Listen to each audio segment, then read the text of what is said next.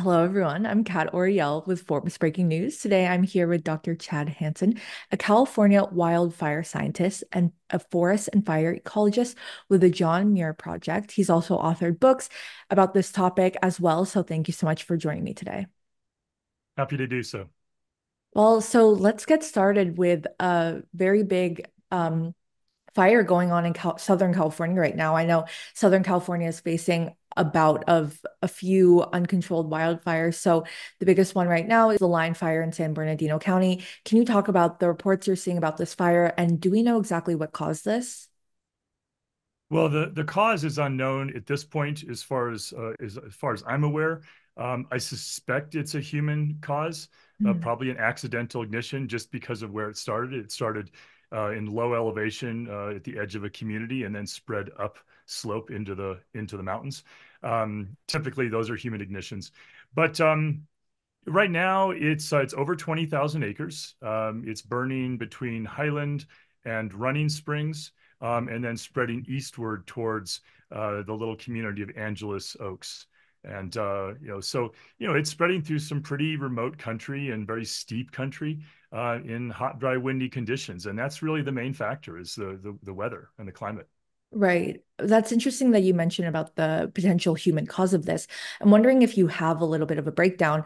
You know, of course, climate only exacerbates this, but do you have a breakdown of like how often it started just, you know, um, completely natural causes or um, a human potentially causing it?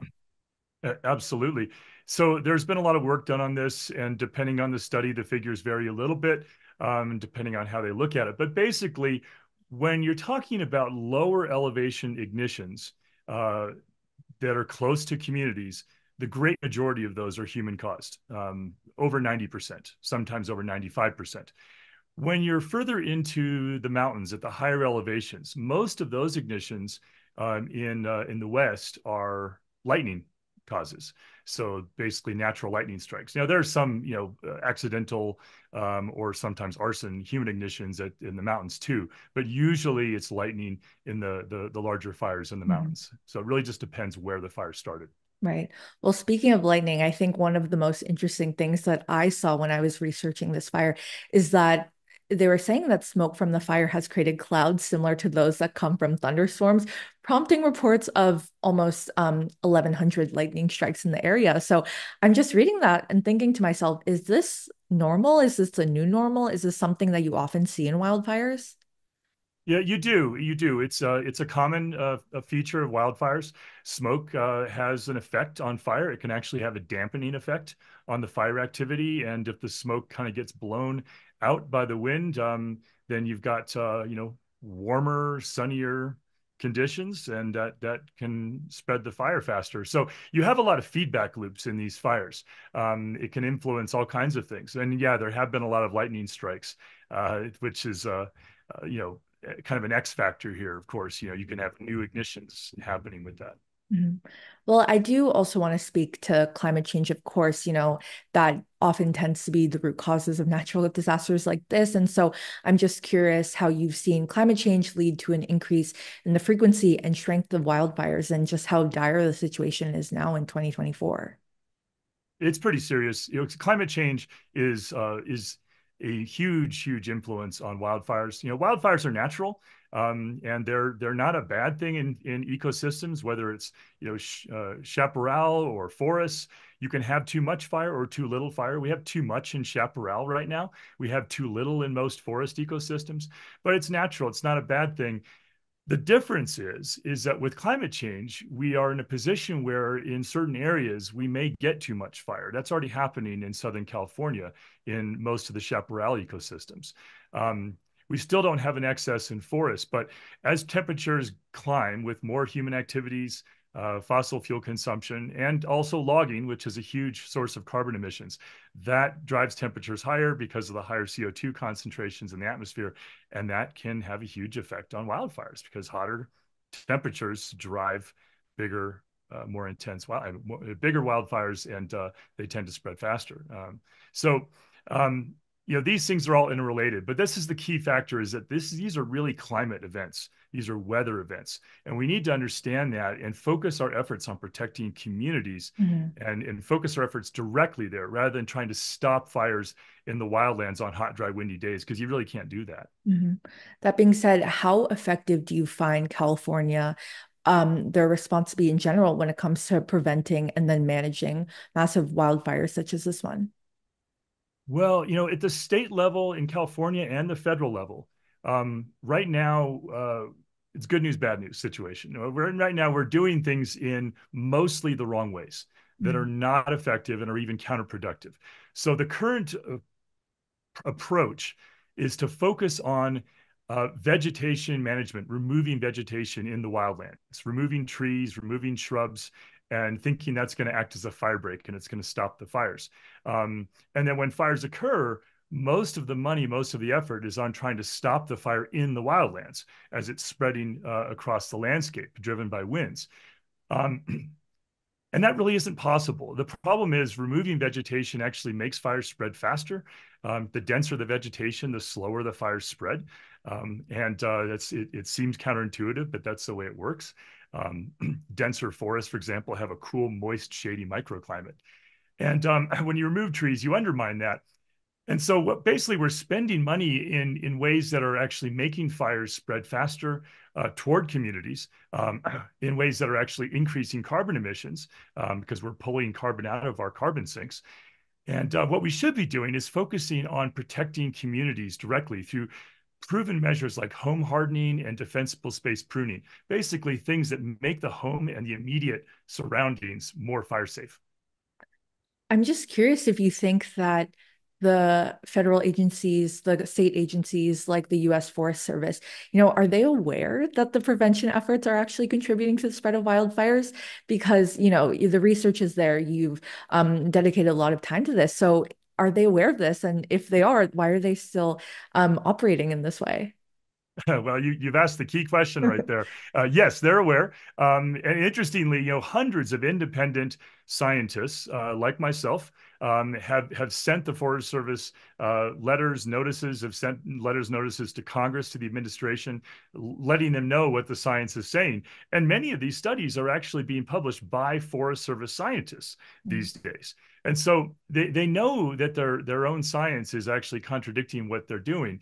Um, they also have a core group of scientists that are sort of maintaining the party line. So there's a mm-hmm. there's a conflict even within the Forest mm-hmm. Service about this. But where the great majority of, of the best science, the most comprehensive science, is pointing is that these are weather and climate events, and we're making things worse by pulling trees and and, and other vegetation out of wildlands and undermining our carbon sinks and what we need to do is really just focus on protecting communities through the, the things that we know from the science are extremely effective.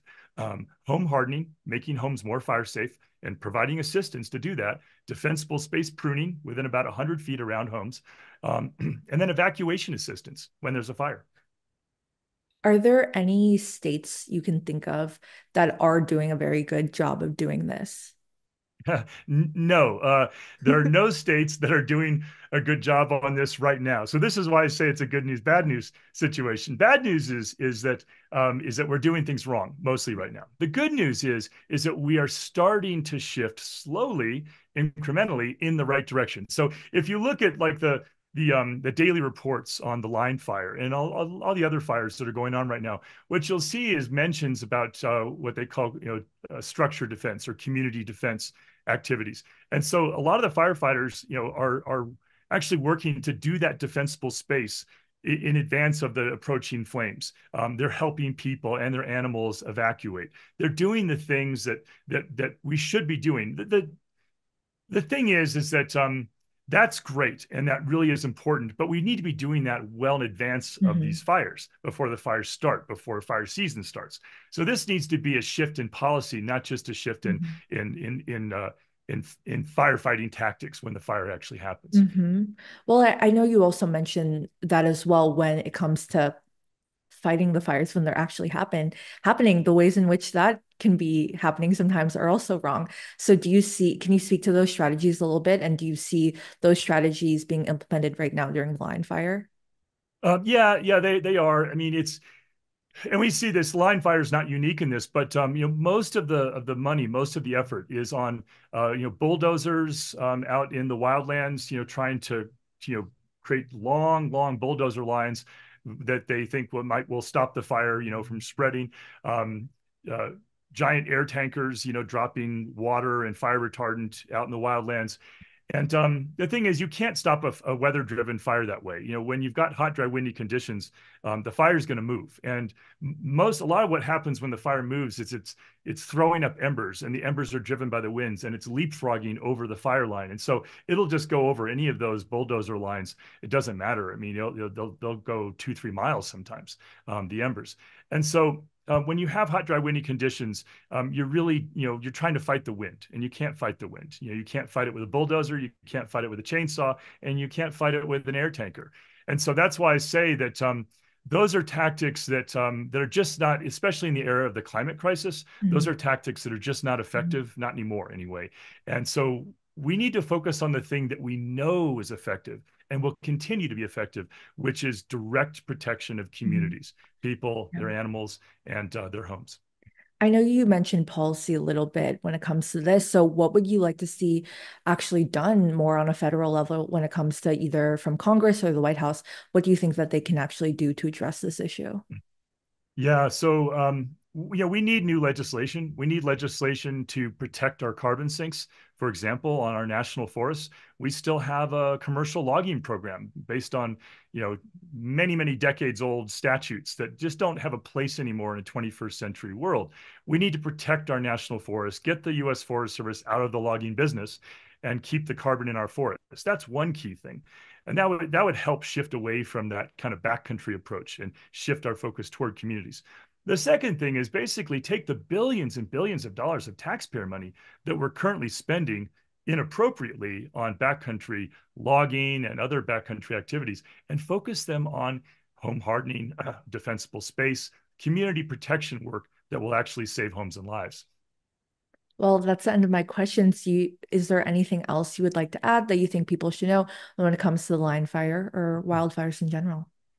Well, I would just kind of expand a little bit on your last question and just say mm-hmm. that we have, you know, a number of um, of bills introduced in Congress, and it's not just any one. I mean, we see them again and again, um, and oftentimes by people who, you know, care about these issues, or at least say they do. You know, so like I think their intentions are good, um, but uh, you know, typically we'll see thirty billion dollars proposed for backcountry logging and and uh, and and vegetation removal, and like three billion dollars for community protection uh, through home hardening defensible space. That's exactly the the, the mm-hmm. wrong approach. You know, it should be 30 billion for home hardening mm-hmm. defensible space, and um, and basically, you know, we shouldn't be uh, allocating money for backcountry logging. That's the wrong thing to do. So I think we just need to shift our priorities. You know, we need to pay attention to the current science. And you know, right now we were talking about you know the the Forest Service and and how they're you know they're kind of clinging to these old policies. The reason they're clinging to those old policies is because of the laws on the books that, that Congress needs to change. Those laws allow the Forest Service to sell trees from public lands to private logging companies and keep the revenue for their budget. So that's an incentive we no longer can can afford. Right. Well, thank you so much for explaining that all for me and breaking it down. My pleasure.